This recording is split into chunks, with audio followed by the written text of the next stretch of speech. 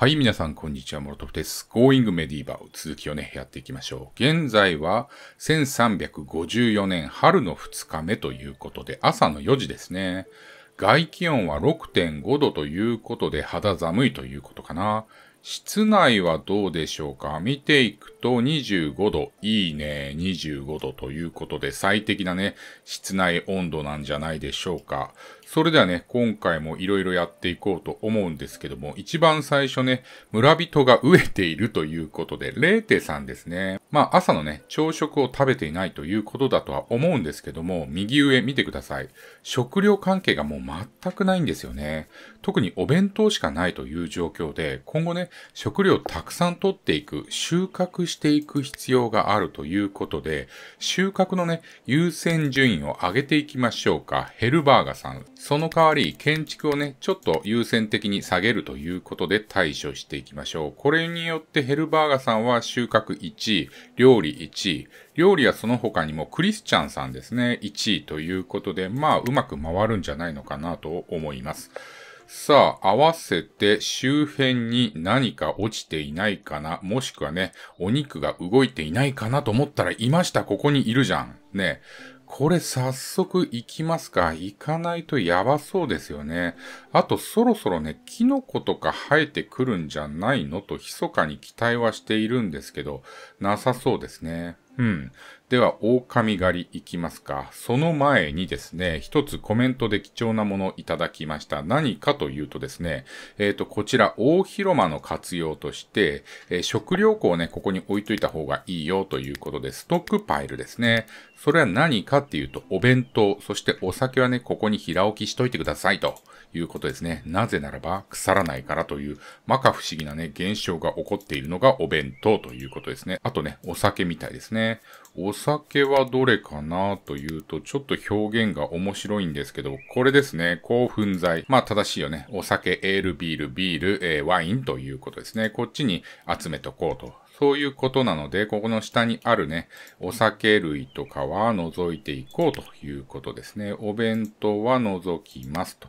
あとは興奮剤は除きますと。これで、こっちにあるお弁当が向こう側に行くということだと思います。まあ、どんどんどんどんね、お弁当とか本当に作っていかないと、餓死者がね、出てきちゃったら本当に本末転倒なのでね、ようやくね、冬を生き延びたのに残念という結果は嫌ですからね。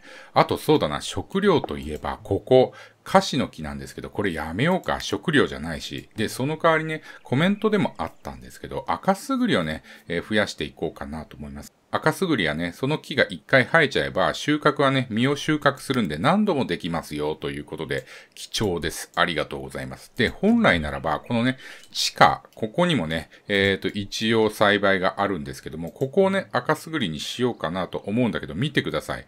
もうすでにね、いくつか植わってるんですよ。植え付けちゃったね。ここにも植え付けちゃってるから、まあ、もったいないから、赤すぐりはね、次のシーズン、もしくはね、新しい地下のね、施設を作った時にやろうかなと思いますと。いうことで、地下の温度大丈夫？そういえば、ここマイナスだね。どうしようかな。本当はここをね、もう食料庫にしたくないんだけどね。まあもうちょっと待ちましょうか。申し訳ございません。なぜかというと、こちらにも地下がね、あるんですけど、まだね、若干できていないという状況なんですね。ここ掘ってここ掘るということで、ここをね、掘ったらば次ここを命令出しましょうか。ね。はい。ということで、えー、何よりもお肉をね、優先すべきということなので、狼ですね。狩りに行きますか。ちょっと怖いんですけど、狼。どうなんでしょうか。えっ、ー、と、これによって、こういう指定をしてここに持ってくると。さあ、二人早速集まりましたね。キノコないかななんかキノコポコッと出てきそうなんだよな。ひょっとしたら領地の中にもね、キノコがポコッと出てきたらいいなとか思ってるんですけども、あったやったこれです、これこれこれ。これももうそろそろね、3時間後ですね、キノコができるよということかな。うん。さあ、そしたらば、そろそろ、えー、4人がね、集まりそうなので、攻撃仕掛けていきますか。多分ね、襲ってくる系だとは思うんだけど、4人いればね、大丈夫かなっていう感じで、いけほらうわ、襲ってきたうわ、どうだどうだやれやれやれ。うわ、やばいぞやばいぞ。近いぞ近いぞ。あ、逃げんのかいや、やっぱり襲ってきたと思ったらやりました。やっつけました。よし、クリスチャンさん持ってってということで、よしよし、こういう感じでお肉をね、こまめに取っていけば、春はね、やり過ごせるんじゃないのかなと思っています。ヘルバーガさんも着実にね、やっておりますね。よしよし。あとは地下本当にちゃんと掘ってほしいですね。まだやれてないと。いうことなので、誰かいないかなマッカスさん行きますか手ぶらなマッカスさん。ここをね、掘ってくださいという指示をね、出しておきましょうか。ここかな？よいしょと。はい。いける？マカさん。いけそうですね。ちょっと早送りでもしてみましょうか。カカカカカッとやって、えっ、ー、と、手前のね、えー、場所も掘れば、一応ね、さらに下のね、階段がね、置けるということですね。よいしょと。はい。そしたらこれね、コツなんですけど、このね、出てきたね、粘土、ちゃんと外に取っておく必要がありますね。さあ、それでは近くにいるジェラットさんにお願いしましょうか。よいしょと、こんな感じですね。ザッザッザッザッと掘ってもらいます。よしよしよし。これで大丈夫かな？ね。で、えー、っと、階段をね、えー、設置します。よいしょと。はい。なんだったらば、ジェラットさん、そのままね、階段をね、作ってくださいということですね。あと階段ができれば、ここら辺はね、もう問題ないと思うんで、埋めていきましょうか。ね。埋める作業も大切ですよね。例えばここ埋めなきゃいけないし、ここも埋めなきゃいけないよね。そしてここもね、本当は埋めなきゃいけないということで、一通りこれパッパッパってやってみようか。こんな感じにしておきましょうか。上に見えるのはお弁当ですね。お、いいねいいね。ジェラートさん。カカカカカッとね。そして一段落したらば、ここを掘っていくという感じになっていきます。はい。さあ、ここにお弁当があって、いくつあるかっていうと4つですね。とても少ない。現状5個ぐらいしかもうないね。今一瞬間食べちゃったよね。はい。あとは、こういうキノコ類ですね。よし、キノコ探していきましょう。バンバンね。いきますよ。キノコの旅です。さあ、近くにあるかな見ていこうかな。あと鹿とかね、いたらいいですよね。キノコ発見。こんな感じですね。このマップザーってこうやったら色々ね、取れそうですけどね。まあ一応見ながらちょこちょこちょこちょこ取っていこうと思いますけども、ないね。こう見るとないね。うん。多分端っこの方にあるんだろうな。キノコ、ここら辺あった。見つけた。ここですね。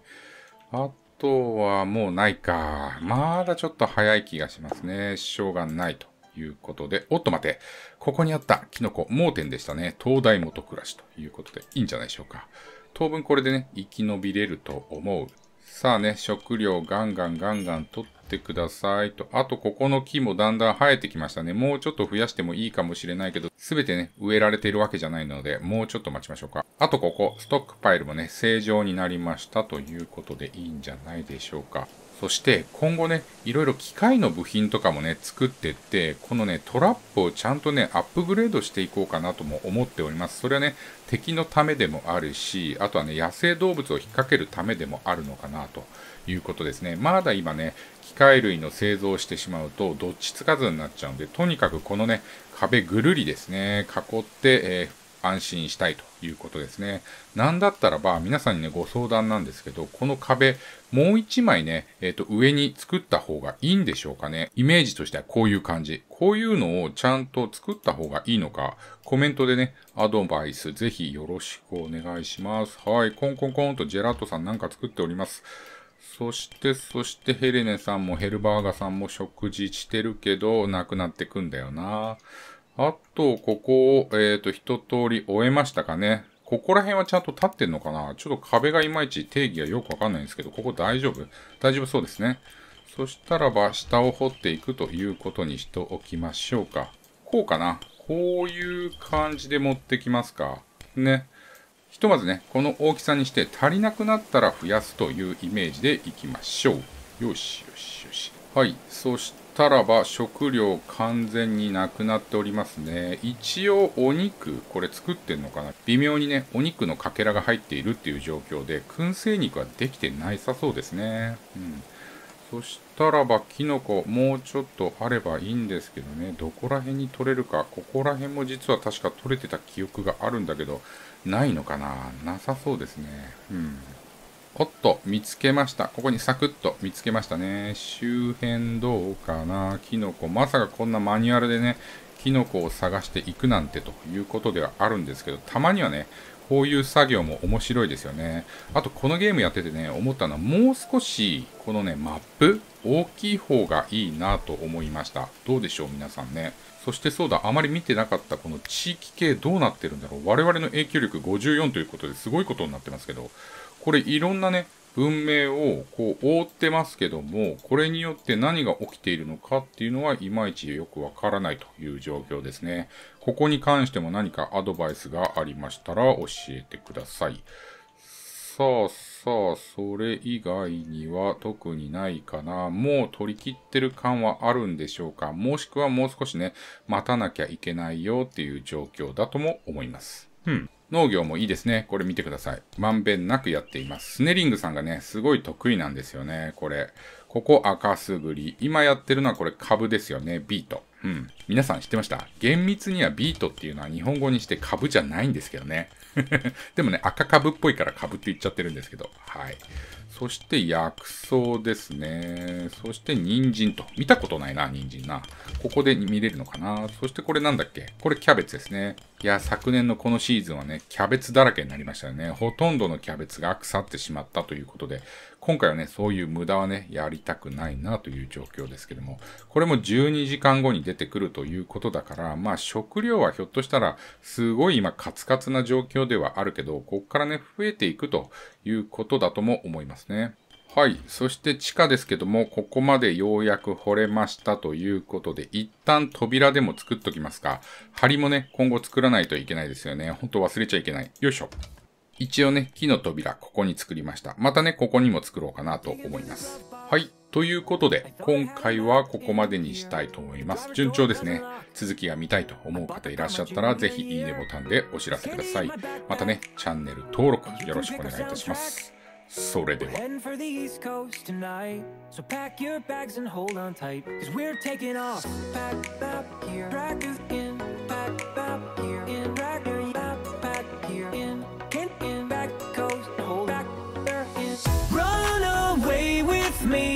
We're on the way to New York City. Take my hand and see Manhattan never looked so pretty.